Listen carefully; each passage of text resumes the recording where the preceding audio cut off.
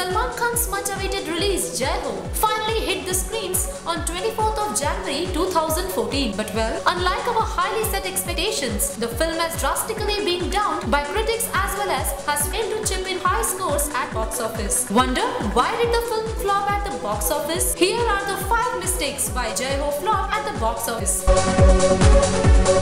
Having returned to the big screen after over a year's time, Salman Khan sad chose to stagnate with his mass entertainer genre with same blend of action and romance. Without experimenting on any tangent, Jai Ho had nothing new to offer.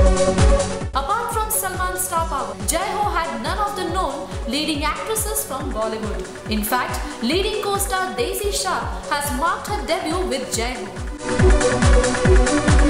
Except for a couple of songs, Jai Ho offered no good song base that could rank up to become a chartbuster. The boring songs have undoubtedly added a negative mark for Jai Ho.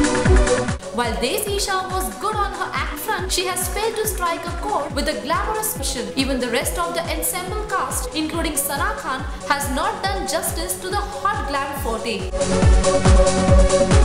Unlike Express, our people star preferred quoting low ticket prices for Jai Ho but failing to gross any profits. The film is downing with a slow earnings. Do like this video and don't forget to subscribe to Moviez Adda